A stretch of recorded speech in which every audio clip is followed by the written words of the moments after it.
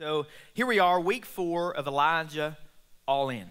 And so I want to recap just a little bit because when we think about Elijah, we think we, we read through the Bible, and we're all guilty of this, myself included. So we the Bible is filled with some incredible, phenomenal stories of faith in the demonstrations of those faith and what God does through people and characters of the Bible. It astounds us, it amazes us. We stand in awe of God's power and his ability, and that's no different with the character of Elijah. And it's like, oh my gosh, look at how incredible Elijah is. Elijah shows up to King Ahab, pronounces a drought and a famine over a nation of people, stands before a king.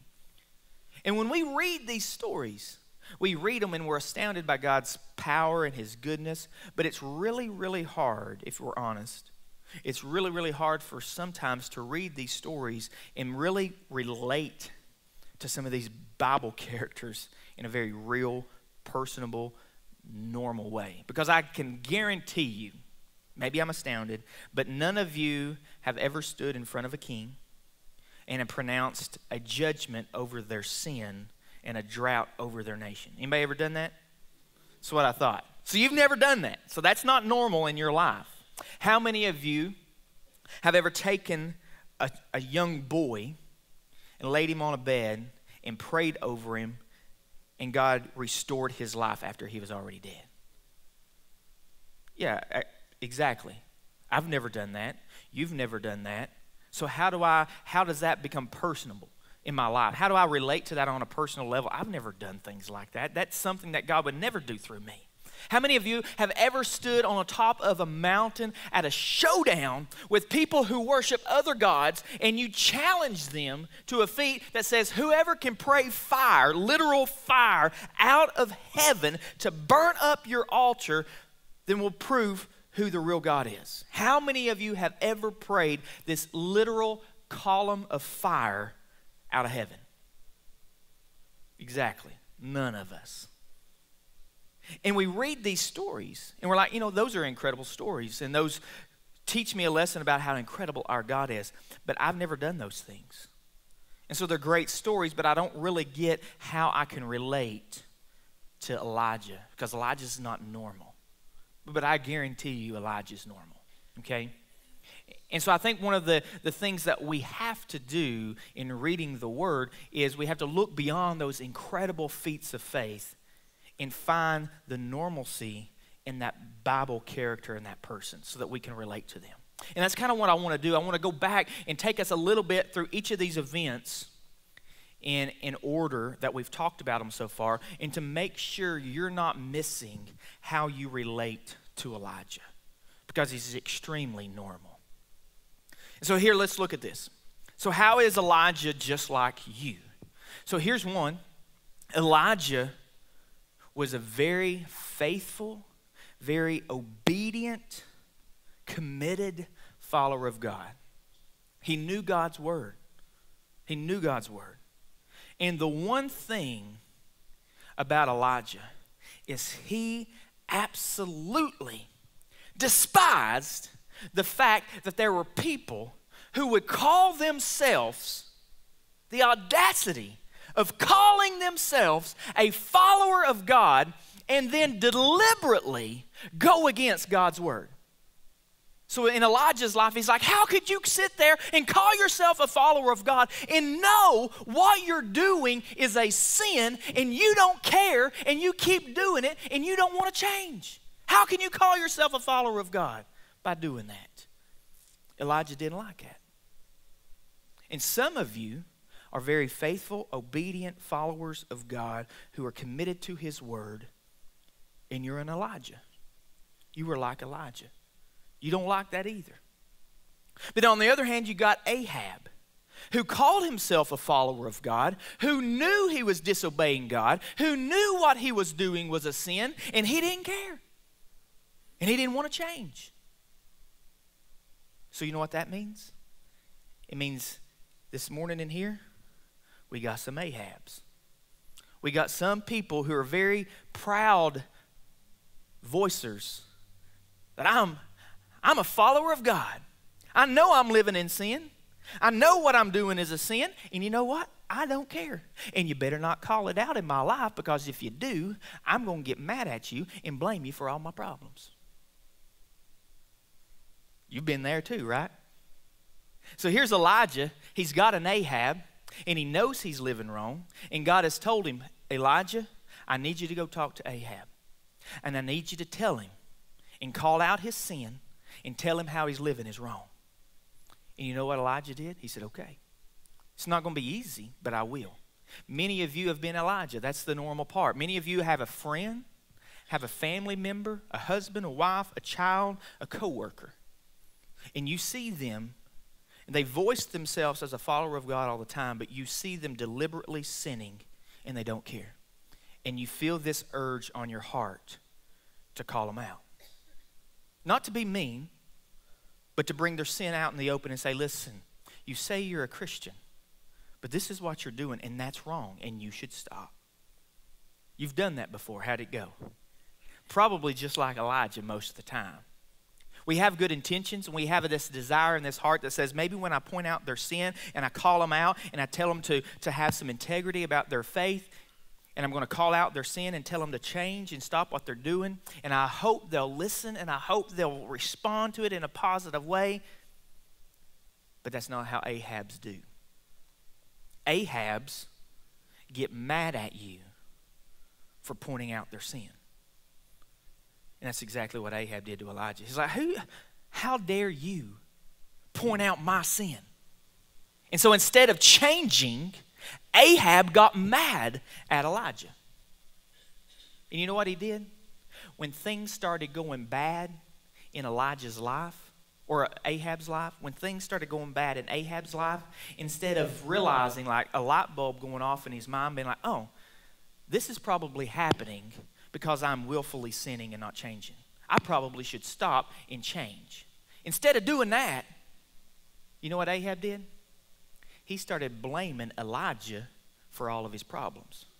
It's not my fault that this is happening in my life and things are going bad. It's your fault. Because they don't want to take responsibility for their own actions, right? They always need somebody else to blame. It's your fault for calling it out. It's your fault for not being loving toward me. It's your fault for not being accommodating. It's your fault that all this bad stuff is happening in my life. It can never be for the fact that I'm sinning and there's consequences to those decisions. It can never be my fault. Because as long as it's someone else's fault, you don't have to change, right? You don't have to fix it. You can always blame somebody else. And so now Elijah's got to live with this. He did what God told him to do. God, I told him, I went and I confronted them with the sin and I, and I pointed it out and I encouraged them to change and I gave them a warning. But God, all they did was get mad at me and shun me and push me away, and now they blame everything on me. Elijah's pretty normal of a guy. We felt exactly what Elijah has felt. And then right after that, God says, Come on, Elijah. Here's where I want you to go. I want you to go to Kerith Ravine. I want you to go, and I'm going to, I want you to spend a little time in the valley. We've all been spending a little time in the valley in our lives. We know what that's like. We know what it's like to be in that ravine. We know what it's like to be in that place where we feel alone and isolated like nobody is for us, nobody's there with us, nobody's supporting us. We feel we know what it's like to be in that place where it feels like God is, is cutting away things in our lives. That's what that's what Kerith means. God placed him in the Kerith ravine. It means a place of cutting away. And so there's a season in many of our lives, all of our lives at some point, where God puts us in this place of isolation where we may feel alone. But in that place of loneliness and isolation, God begins a season of cutting away things in our lives, cutting away sin, cutting away a personality, cutting away flaws of that personality, cutting away emotions that are not healthy, cutting away thoughts that are not right. He's, he's refining us in the season of cutting away. And he says, As long as you stay where I placed you, Elijah, I'll provide for you. Stay right there. And so Elijah was in this season of feeling alone and isolated. But here's the one thing that we have to understand about those seasons where you feel alone and you feel isolated and you feel in the valley and you feel like God is cutting away things in your life. Because usually when that's happening, it means that God is preparing you. It's not just a season of cutting away, it's a season of preparation. And how willing you are to be humble in that season of isolation and cutting away will determine the magnitude or how great God can use you. How are you dealing with having things cut away? That might be where you're at right now. Because that means God is getting you ready for something. God was getting Elijah ready for something. And he brought him out of that valley. He brought him out of that season of isolation and cutting away. And he says, Elijah. And Elijah comes out, and I'm sure he's ready. He says, God, I've been in the valley, and I've been patient, and I've allowed to cut away, and I've discovered some, some, some things about myself that I'm changing, and I feel better, and I feel more focused. I feel more confident in my obedience to you, God. I am ready. I'm ready to serve. I'm ready to do what you want me to do. I'm ready to go where you want me to go. I'm ready to be who you want me to be, God. What's next? Many of you are in that season. What's next? I'm ready, God. I've been waiting for a while. And God says, Elijah, I want you to go to Zarephath. what? Now, hang on a minute, God. I know I told you that I would go where you want me to go. And I know I told you I would do what you want me to do and I would be who you want me to be. But hang on, I didn't I didn't think it was going to be there.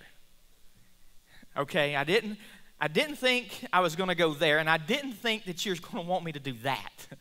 So let's rewind this a little bit and let me say, God, I am willing to do whatever I want to do and as long as you put your stamp of approval on it, then I'll do it as long as I approve of it. Because that's what a lot of us do, right? God, I will serve you and I will do and be and go to wherever I want to go. And then you tell me that's where you want me to be. And he says, Well, that's not how it works, Sam. You're obedient and then you do what I tell you to do. You don't get to call the shots. And see, with the thing with Zarephath, it's like, okay, hang on. I just stood and pronounced a drought and a curse and punishment upon the nation of Israel, Ahab and Jezebel. They don't like me, God. And you're sending me to Zarephath? Uh, that is where Jezebel's from. And you want me to go to like her hometown? Yeah. Of all the places, God, you want me to go there? Yeah. You said you'd go anywhere. You were ready. Well, yeah, you're right. But on top of that, you know what else is about Zarephath? Zarephath is where they build the statues for Baal worship. He's like, God, you're sending me right into the lion's den of Baal worship. They hate me. He says, I know.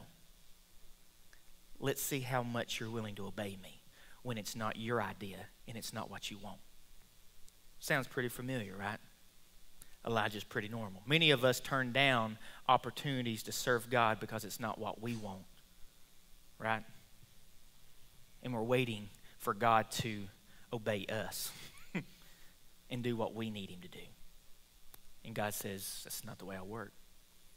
So Elijah responds. He says, All right, if that's where you want me to go and that's what you want me to do, I will be faithful because I promised you I would. He goes to Zarephath. He walks to the city. He's at the city gate. He, he um, notices this woman. At the gate, he walks up to this woman and he says, Hey, can you get me a drink of water? She says, Yes, I will. He says, And, and by the way, while you're at it, make me some bread. Okay, well, sir, um, I, don't, I don't have enough bread to make you because actually I just have a little handful of flour and uh, just a few ounces of oil that I actually was planning to make me and my son some bread and, and then we were going to die because we have nothing. This is the last food we have and we have nothing else for us. And Elijah's, well, well, listen, here's what you do because my God is faithful and my God is good and my God is a provider. Here's what you do you take your last bread, your last flour and oil, make me some bread, and as long as you're faithful in that, here's what God promises to do for you and your son. That if you will be faithful and you will do what I'm asking you to do, then God will make sure that that jar of flour and that jar of oil will never run out until the rains come again. So she said, Okay. And it happens. And so miraculously, this jar of flour never goes empty. No matter how much they use it, this jar of oil never runs dry. No matter how much they use it, it's replenished every day. God is providing for this woman and her son and Elijah every single day. And imagine what that's like. Many of you have walked that road, you're like, God, I don't even know where it's coming from. I don't even know where this provision is, but it, just every day it astounds me that every day what I need is there. And yet it never runs out, God. And that's such an incredible example of who you are that I will praise you every single day for your provision. The one thing about provision is you have to be in a place of obedience to receive God's provision. And some of you right now are like, God, where's the provision? Where's the provision? God, I need it, I need it, I need it. And He's like, you know what? You're not where I told you to be. You went where you wanted to go, and you're providing for yourself. But if you'll be in a place of obedience where I want you to be, that's where I'll provide, just like in the Kerith Ravine. So if you want the provision, you need to be in place of obedience in your life. And every day, they worship God. They praise God. God, I mean, imagine being Elijah and imagine being this woman and seeing how God is providing for the needs of their family every single day. It's easy to pray, praise God and speak well of Him in the season of provision when all things are good in your life. And one of the things that we learn with Elijah that many of us get wrong about the Bible, it's like, God, I have been faithful. I went and did and become who you wanted me to be, and you're providing for us. God, you're good, and I'm praising you. We're very tempted to believe that God, because of my faithfulness, my faithfulness and my obedience to God will make my life tragedy proof. We think that, right? How could anything bad happen to me or my wife or my kids or my family because I'm loving God right now. I'm following God. I went where God told me to go. I did what God told me to do, and I was who God told me to be. So, how could anything bad happen to me? Elijah and the widow would soon discover that, you know what? That's nowhere in the Bible. It's nowhere a part of God's plan or His Word. It's a message straight from Satan. So here they are praising God for provision, praise and praise and praising. It's easy to praise God in the season when you got everything. And then what happens? The widow's son turns up sick. Hey, it's, a, it's fine. It's fine. It's no big deal. God is our provider. God has been good. We're just going to pray for this boy, and God's going to heal him. He's going to make him better. We're praying, we're praying he's not better, but it's fine. It's fine. He's still sick, but it's fine. God's going to show up anytime because you know why? Because I'm faithful and I'm obedient and I've done what God told me to do. So because of that, God's going to heal him. I just know it. I don't have to worry about it. My faith is strong. God's going to heal him. He keeps getting sick. It's fine anytime now, God. Come on. You know, I've been faithful. I've done what you I, I've done what you told me to do, so that means you got to do this now, right? It means, it means you're on the hook, God. You can't let me down because if you don't heal this boy, then I'm walking away. I'm done. I'm not going to believe you anymore because I did what you told me to do. And if you don't do what I want you to do, then we're going to call it quits. Heal him anytime, God. He keeps getting worse and worse till he stops breathing and the little boy dies. What? But God, I was faithful. God, I was obedient. I did what you told me to do and you didn't do this? See, it's easy to praise God in the time of provision. They're praising, they're praising. But the moment the situation turns and tragedy strikes, guess what? They're praising, all of a sudden turns into questioning. Wait a minute, I had faith when you were giving me everything I needed. And now that something happens that I don't like, my praising now turns into questioning. And God says that wasn't the purpose of the provision for you to take it for granted. The purpose of the provision in the good times is to inspire you and to build your faith to trust me and praise me through the tragedy and the bad times. And so now Elijah's like, God, what am I doing here? The woman looks at Elijah and he says, It's your fault. You're the one that's brought this curse upon my family and my son. If, my, if you hadn't have been here, my son would have never died. And Elijah's like, God, why is it always my fault? Why am I always to blame? Why does it always come down on me? Because God was preparing Elijah. Because he was where God wanted to be God was ready to use him. He picks up the little boy, goes upstairs, prays over the little boy. The boy's life comes back into him. He walks him down to the mama and says, Here, your son is alive. And the mama looks at Elijah and says, Well, now I believe. Now I believe that you are a man of God. Now I believe that everything that you've said about your God is true. And the one thing that I look at that, the fact that she says, Now I believe, I said, Wait a minute, wait a minute, wait a minute. For, for, see, for a season, you've praised God for your provision, but you didn't really believe it. Because when times got hard, you stopped believing. So all that in the season of good was really nothing. Because the moment that things changed in your life, you stopped praising and you stopped believing. So, did you really believe in the season of good? In the season of provision? Because if you believed then, then you would believe now. And she says, Now I believe. Why did it take such a tragedy to get her to believe and to change that in her? Sometimes it takes that in our lives. When we look at this, now Elijah is like, okay, God, this is incredible. This is awesome. I, I, went where you wanted me to go. I did what you wanted me to do. I've been in the valley. I've been in isolation. I've been shunned. But now I've come out and I've been obedient to you and I've seen your provision and I've seen you work through me. Let's do this. What else is next in my life, God? Now I'm ready. He says, I want you to go back to Ahab. Ahab? I've already talked to that guy. He hates me. He's not going to listen to a word I say. You want me to go back to him and talk to him again about his sin? In what he's doing wrong? Yes. Have you ever been in that situation? You're like, God, I don't want to go talk to them again. They're going to hate me. They already hate me. They're not going to listen to me. I want you to go back and talk to them. They're going to blame, they already blame me for everything, God. It's all right. Go and confront them again.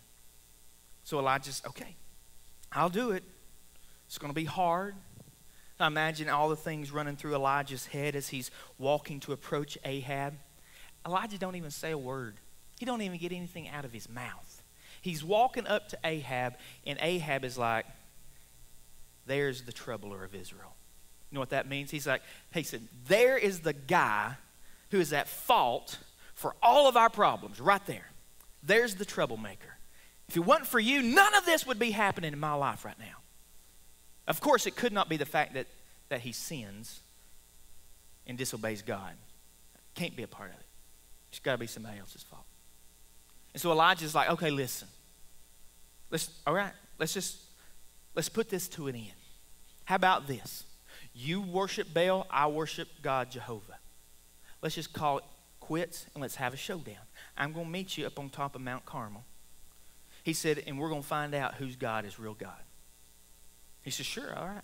He said, you bring all your prophets that you want to bring of Baal up on top of this mountain. You make an altar, I'll make an altar, and whoever prays and their God sends fire out of heaven to consume and burn up the altar, then that's the true God. Ahab says, agree, deal. So they do it. And Andy talked about that last week. We know that they made their sacrifice and sang and danced and cut themselves. Nothing. Elijah prays. He says, God, I want you to reveal yourself. I want you to show them who you are. I want them to see your power. Reveal yourself to them, God. And he prays. Fire comes out of heaven, consumes that altar. Can you imagine the relief on Elijah? You did it, God. I trusted, I believed, I was obedient, and it, your word was true. Elijah knows for three and a half years now, God, I spoke up and I believed in something that you told me was true. And I've been in the valley, I've experienced tragedy, I've walked some difficult roads. I've seen you move and work in some incredible ways, God. For three and a half years, I've been waiting this drought out. I've been waiting this dry season in my life out. And I believe in this moment, God, that you're getting ready to fulfill your word and to pour out your blessing. And so Elijah says, I'm not coming off this mountain until it rains. I believe that, that God's word is going to come to fruition. Many of you are in a season of drought, in a dry season in your life, where you've been in a wilderness, you've been in the valley, you've seen God do some things, but you're still trusting in that promise that God gave you months or years ago. And Elijah's on the mountain and he says, Listen, I know it's happening. I know it's coming to fruition. I know it's coming true. And he tells his servant, he says, Hey, go and check the horizon of the sea and see if there's a cloud, rain clouds rising. Servant goes and looks, comes back, nothing. Nothing. He says, Go again. Goes back second time, nothing. Third time, nothing. Fourth time, nothing. Fifth time, nothing. Sixth time, nothing. I'm sure this, the servant is kind of getting tired of this. Seventh time, he says, Go back again. I know it's happening. So the servant goes and he looks and he's probably kind of put off at this time, I would think, and is, kind of nonchalantly just giving it just a little bit of uh, lip service, looks over the sea, he's like, whatever, I don't, and then, wait a minute. I've done this seven times. There's nothing there. But this time, the servant says, wait a minute. He, he looks a little closer and he sees a tiny, small cloud starting to come up over the horizon of the sea. He said, it wasn't there before. And he goes back to Elijah, and Elijah's still praying. And he says, Elijah, I don't know, but this time I saw this tiny, small cloud way out on the horizon of the sea. And Elijah knew in his heart, in his soul, this is it. This is the promise. God's word is coming true right now. And he goes ahead, and because he believed in the promise, he said, Go ahead and tell um, Ahab. He said, Ahab, you better hitch up your chariots and get off the mountain because it's about to come a flood. The storm clouds hadn't even rose yet, but he knew it was coming. He could feel it. And as he stood there on top of that mountain, the skies began to get cloudy. They began to grow dark. It says the wind picked up as Elijah standing on top of that mountain, I can see his robe just flapping in the breeze of those storm clouds. He could hear the, the roar and the roll of that thunder across the horizon. Can you imagine what he was feeling inside? Three and a half years. He had believed in this promise and had waited for it. And finally, his faithfulness and his patience was becoming reality. And as those clouds rolled in and the skies grew dark and Ahab and his chariots were headed down the mountain, the skies that are full of blessing and rain open up and just start pouring out the rain. This is what he'd been waiting for. Imagine just standing in the rain, in the storm cloud, as God is pouring out that blessing. Finally. You know the feeling when you believed in something and trusted in something and God finally brought it to reality in your life, what that would feel like? This was that moment for Elijah. Many of you have, have experienced that, and many of you are waiting on that moment right now. In Elijah, it says that the power of God came up over. I can only imagine the power of God in that moment. He lifted up his, his robe and he tucked it in his belt. And it says the power of God came over Elijah and he took off running. It says the power of God was so strong on Elijah that he beat the chariots to Jezreel. And imagine that journey of running in the rain thinking about every step of his journey over the last three and a, three and a half years. God, I was faithful there. I was faithful then. God, I was faithful then. God, it was really hard. I lived in the crack. I lived in the ravine. I lived in the valley. I faced that tragedy. But God, I remained faithful through it all. And you did it, God. How powerful. This was it, right? Imagine he gets to Jezreel. He Whew, that burden is lifted off the shoulders of Elijah. and He goes to bed. He gets up the next morning. If I was Elijah, I would be anticipating such good news. I can't wait to hear this morning because I'm sure that, that Ahab and Jezebel has seen the power of God displayed in their life, and that was the straw that would break the camel's back. And because God has revealed himself this way, they're going to turn their life around. They're going to tear down those Baal worship and those idols, and they're going to recommit their life to God. I'm just waiting to hear it, God. This is what my journey has been for.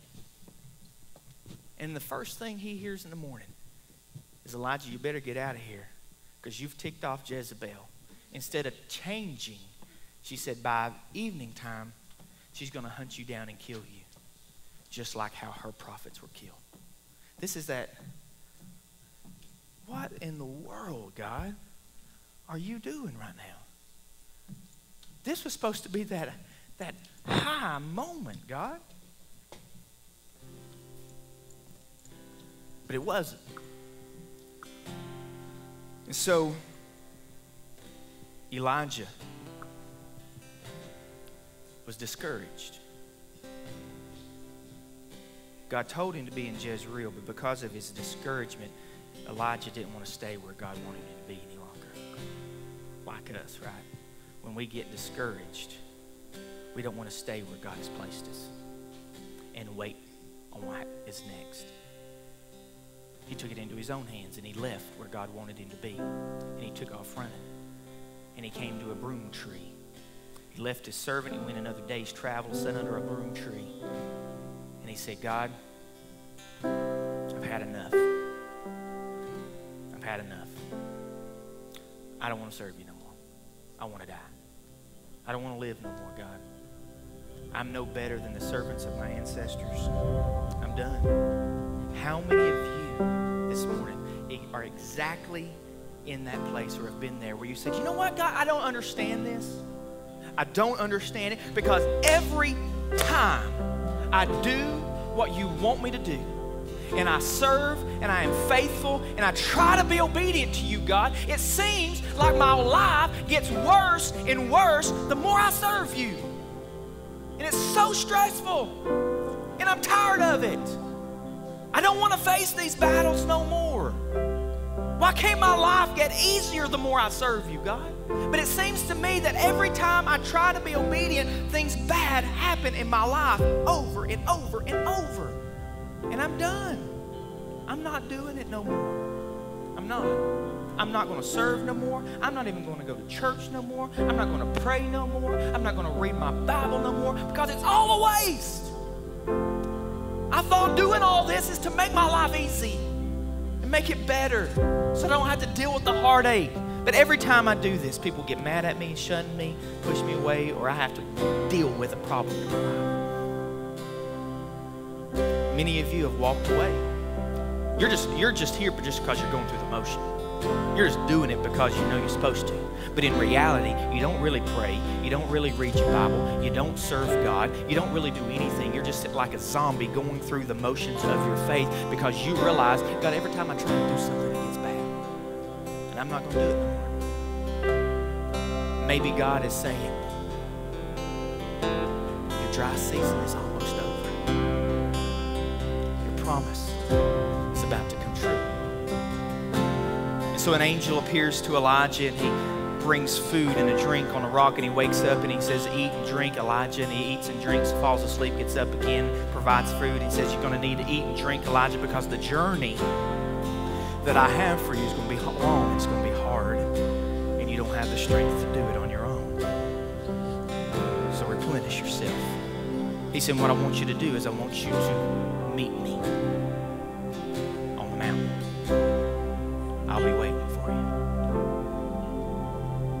that journey of meeting God on the mountain took about 40 days in the wilderness as Elijah wandered through the wilderness, contemplating everything that had gone on, allowing all of his discouragement to blind him from what God was really doing. Just like many of you right now. Your discouragement has blinded you from truly seeing what God is doing through you.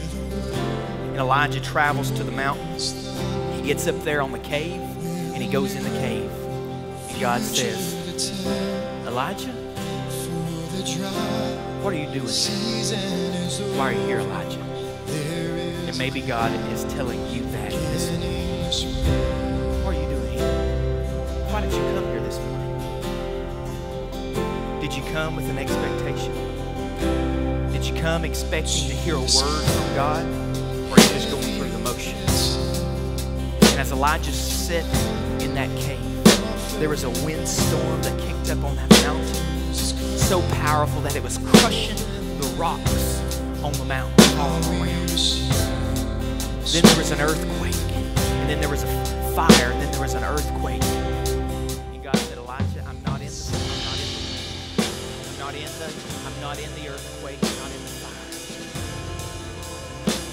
Because Elijah, like many of you, searching to find God in some huge miraculous occurrence.